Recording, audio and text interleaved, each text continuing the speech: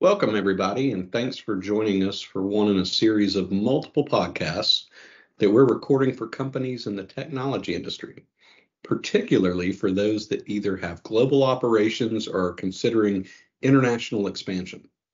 My name is Will Billups. I lead our ASC 740 and IAS 12 practice firm wide. And today we have two wonderful guests joining us. We have Rajesh Tripathi and Kirk Hesser, both from our international tax practice. Rajesh specializes in international planning, provision, and compliance. And Kirk specializes in transfer pricing, transaction structuring, and planning. I'll kick it over to them for a quick introduction. Thank you, Will. This is uh, Rajesh Tripathi. I'm part of the Cherry Bekaert family. I've been doing U.S. international tax outbound, inbound for the last 25 plus years, helping technology companies do IP planning, cross-border M&A, due diligence, U.S. international tax compliance, and any provision-related matters. I'm going to hand it over to Kirk. Over to you, Kirk. My name is Kirk Hester. I am part of the Cherry Bekaert family as well and specialize in international tax, more specifically transfer pricing. I've been with uh, Cherry Bekaert for five plus years and have been doing transfer pricing for 25 plus years. I help technology uh, companies structure their intercompany transactions, both from a planning perspective as well as a compliance perspective, and particularly if uh, something comes up in controversy or if they get audited from a transfer pricing perspective. Excellent. Thank you both so much for that thorough introduction. Today on the podcast series, we would like to go through some sets of facts that I have and get your thoughts on some of these pieces that we should be integrating into our planning. I have a company that has internally developed intellectual property and is primarily US based. This company is looking to expand their operations internationally in various jurisdictions, leveraging the intellectual property created and used in the US business. My first question for you two is My client has acquired a foreign group. What things should be considered to protect their intellectual property? So why don't I go first, Bill? I think um, this is one of the common questions that I have seen whenever a U.S. company, you know, uh, is looking at uh, and they have an IP sitting over here, whether it's a small or a mid-sized company, they have developed an internal IP and they're trying to see, hey, how can I expand globally? I want to target customers across the outside US, and how can I look at, you know, uh, serving my you know clients uh, outside US and sell my product outside US. So this is where they will have to start thinking about that. Hey, if I go in a foreign country, is my IP protected? How can I protect my IP when my customer starts using it? And that's where the IP planning has something that they should start think, considering, you know. And most of the time, the uh, they are always thinking about, hey, my IP is protected in the U.S., so therefore it's universally protected, you know. But that's not the case. In fact, uh, there are certain steps that a company will have to take when they are going global or they're trying to expand globally. For example, the company's biggest asset is their IP and the goodwill, which is 90% of the value they own. So therefore, they have to start thinking about it. If I'm going to go global, what is my first thing that I should start thinking about? And that's where protection of your IP globally. And then the second thing should, they should start thinking about is what is going to be my global tax position or my global tax impact if somebody is using the ip outside us what should i do as a part of you know uh, my tax impact for the use of the IP. And that's where you have to start thinking about, hey, should I do my IP planning strategically so that should I move my IP to a high tax country or should I start looking at a country where I can, uh, you know, have my IP used and there's a lower withholding and the high, ta- and my, basically my location is not going to be a high tax location for me. That's the first thing that they will have to start thinking and planning around. The second thing that the company should think about is, hey, if I'm going to be, you know, setting my IP or setting a legal entity in a foreign country and then having uh, an R&D center and also a local customer to serve to support on the sales and marketing of use of my IP. If I'm going to be doing the R&D services, does it make sense for me to set up my IP where I should start thinking about putting a transfer pricing in place? Because if you have an R&D center in the country where you're expanding and you're also going to start having a local customers to leverage your IP, do sales and marketing, you have to look at two aspects. One is your IP planning, and making sure that our R&D that is parked in the foreign country, the local country does not get access, comes forward and says, hey, I have the right to the IP because you are developing the IP in my country. That's the first thing you have to consider. The second thing you have to consider is when the customer is, you're licensing your IP, sub-licensing your IP to a customer in a foreign country how do you protect your IP and what is the withholding tax that'll get triggered around that? So that's where the transfer pricing and supply chain of the IP planning is very, very important. The third thing I've seen is that companies should start thinking about is a lot of times companies want to expand globally, but they're not ready to consider setting up a legal entity. Then they say that, hey, should we think of having a consultant in a foreign country to help us develop the IP or software development or R&D center, you know, by using a consultant rather than having a legal entity. That's where the com- company should start thinking about, hey, do I have to consider a permanent establishment exposure? If there is a consultant sitting in a foreign country and accessing my server and doing the r&d development and also how do you structure your ownership or planning of your you know uh, uh, supply chain and the transfer pricing and at this point, I would like Kirk to step in and talk about hey, when a company is shifting their IP or setting up their legal entity, what kind of transfer pricing planning they should consider to mitigate the risk of a lower tax implication, withholding tax implication, and protecting their IP. Over to you, Kirk. Um, over top of everything that Raj just stated, the company needs to think about its transfer pricing, planning, and compliance. When you're talking about intellectual property and related parties using or benefiting from intellectual property, you're really talking about licensing the IP or entering into some type of a cost sharing framework where the related parties would co-develop the IP going forward, and that may eliminate the need for royalties. Otherwise, you're really talking about licensing IP to the related parties, and all of this that I just described has to be done on an arm's length basis, meaning the royalties that are put in place or any cost sharing framework has to be done in accordance to, in the US, the 482 regulations, or typically outside or generally outside the US, that would be according to the OECD guidelines. And really, we're talking about whether you want to centralize your IP ownership or decentralize your IP ownership, depending on what the company's tax and business objectives are. But in any case, along with what we originally stated in protecting the IP, what is also important is putting together uh, intercompany agreements that really spell out the rights of the related parties in these intercompany transactions that are using and benefiting from the IP. So there's a lot to think about here, but on top of it all, the transfer pricing has to meet the standards in both the U.S. and outside the U.S. Um, you know, to, uh, based on where the IP is being used. This was very helpful. Thank you both for the thorough response. There are some ASC 740 and IAS 12 implications from where the intangible and goodwill are parked for purchase accounting purposes.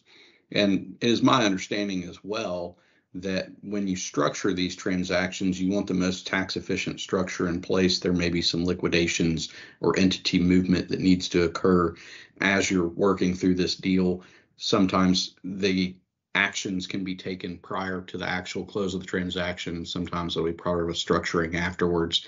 I think that's vital to note that from an uncertain tax position perspective, we've got to analyze the transfer pricing and use of the IP in place across multiple cross-border countries and jurisdictions. So that's important to understand what the position is, where we're going, and whether or not there's something uncertain related to those from a tax provision perspective. My client currently has intellectual property situated in the US, but the development is happening in foreign countries by hiring independent consulting firms to act as the employer of record. What are the implications of this? So let me step back over here and uh, talk about this. You know, when whenever you have the U.S. company hiring consultants in a foreign country, and they use an employment record the issue that they do not address is that, uh, hey, when the person they hire, even though they're not the employer on re- uh, employer on record, it's a third party vendor in the local country.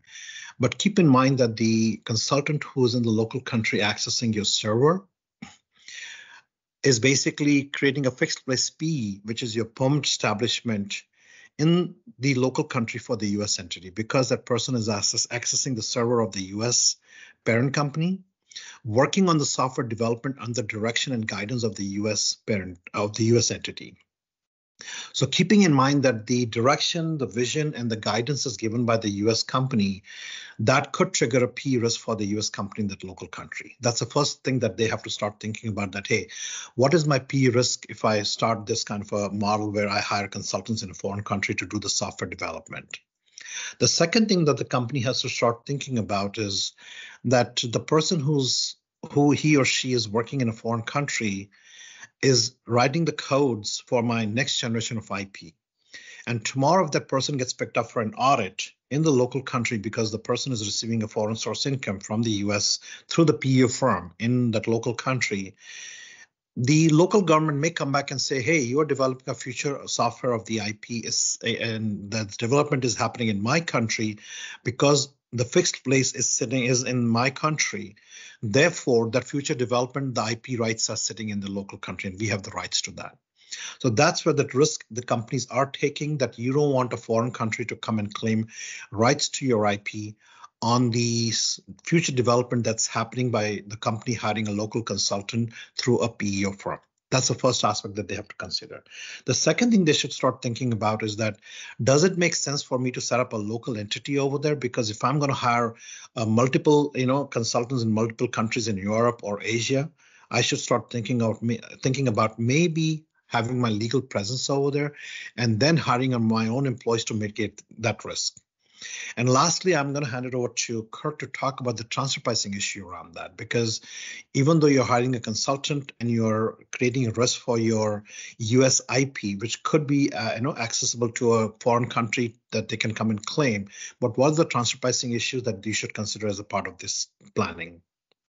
Sure. Thanks, Raj. And, and I think we see this often. This comes up, particularly when you do set up an entity in a foreign location that is participating in intellectual property development. And, and this is where we really need to talk about legal ownership of IP versus tax ownership of IP.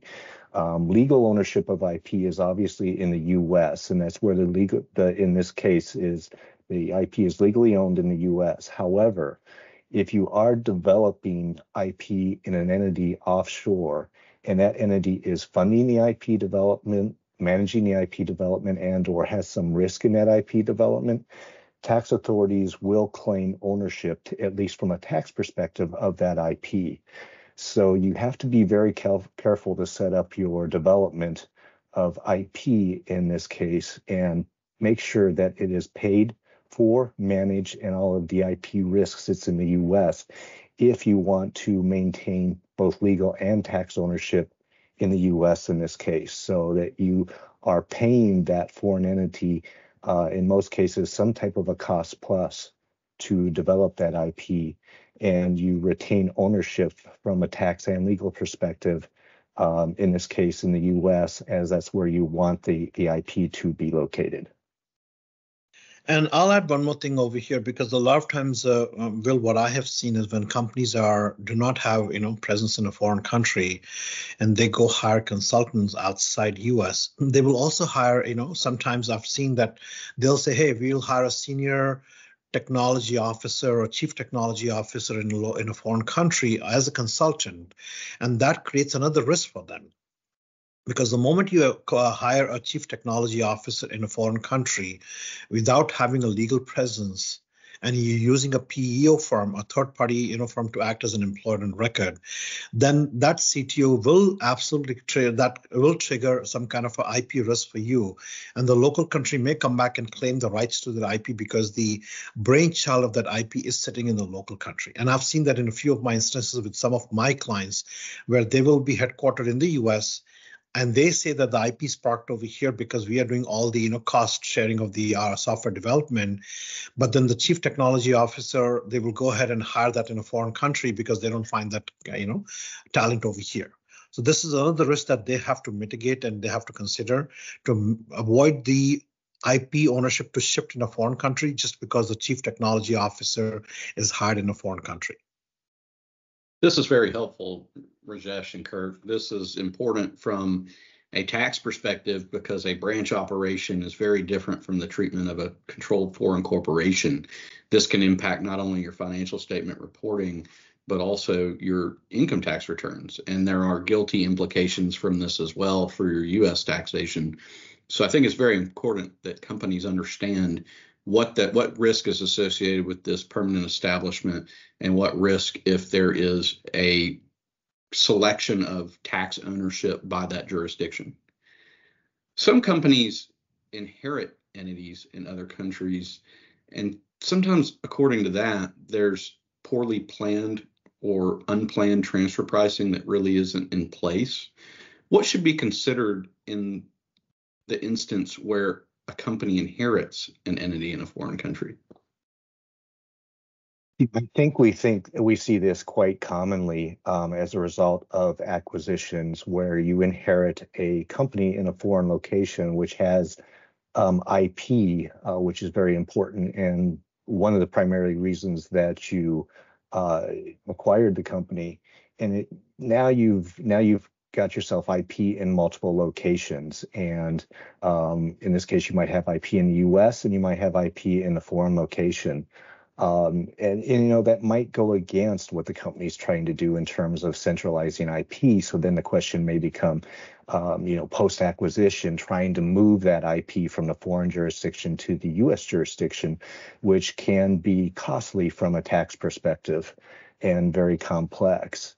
Um, at the same time, if you don't move that IP with IP in multiple locations, then you may have uh, royalties that may be crossing jurisdictions in both ways, since you have IP use usage by both uh, both entities or multiple entities in the chain. So uh, one of the things that we try to do is uh, you know get ahead of all this or um, you know get ahead of an acquisition in terms of planning it and where you want the IP to be post acquisition and try to solve that, uh, you know, within the acquisition itself, as opposed to trying to detangle it uh, post acquisition um, when it gets costly to move IP and uh, very complex to do so.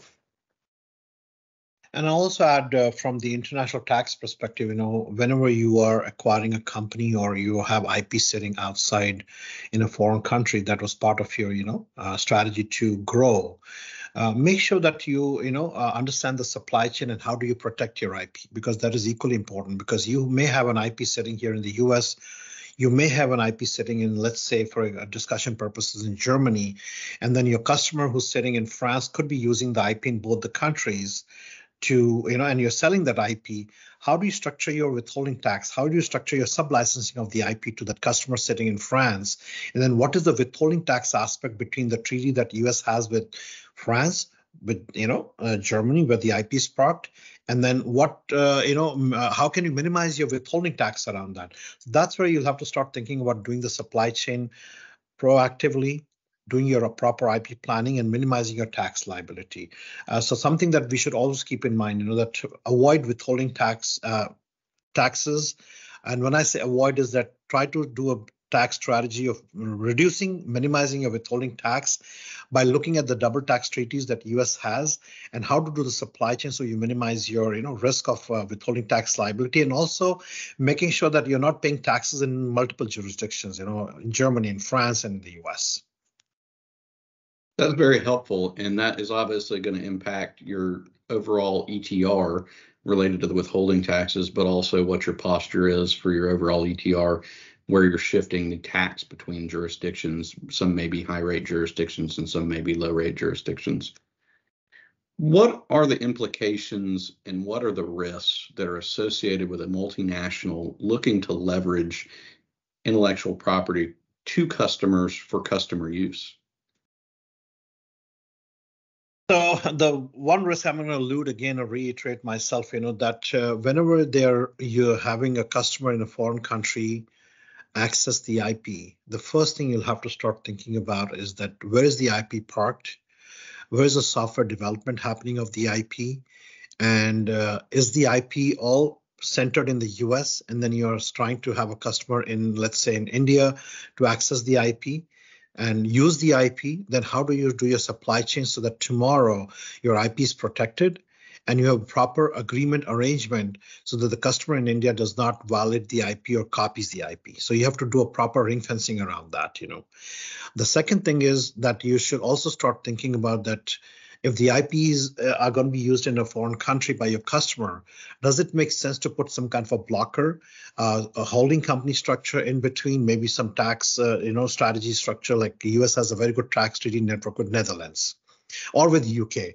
And if you route that from, say, your customers or your IP to sublicense it from the US to UK, and then from UK to India, maybe you could minimize your withholding tax around that, you know, and you can have a good tax, effective tax rate planning and withholding tax rate planning around that. So whenever you are accessing your, uh, trying to access customers outside US and sell your, uh, you know, so services or sales and services to the customers to use the IP, ring fencing your effective tax rate on the withholding tax tax and strategizing which is the good treaty network is very, very important. And in addition to that, the transfer pricing plays an important role as well, where Kirk will talk and highlight some more things around that, you know. I think the main thing to consider when when you are, uh, as Raj suggested, putting IP or having customers use IP, and then you start to put holding company structures in place or blockers in place or entities in place in foreign countries to either sublicense IP. Um, the main thing you need to think about is all of those cross charges or royalties for those sublicenses have to be done on an arm's length basis. And um, to accomplish all this, also important to have proper intercompany agreements in place, as Raj already touched on, to spell out the rights and uh, of the usage of the IP. And all of that uh, is important. All of the documentation, transfer pricing documentation, intercompany agreements are very important in terms of demonstrating the arm's length nature of your intercompany transactions, but also to protect your IP. Rajesh, Kirk, thanks for this wonderful conversation. I know we just kind of scratched the surface when it comes to intellectual property planning for tech companies' global operations. I want to reiterate to our audience that we have a full team here at Cherry Bekaert that can help you address these issues, and we're always happy to help. You can find our contact information in the description of this episode or visit cbh.com backslash international. Thank you all for tuning in today. We hope you'll join us for the next episode. See you soon.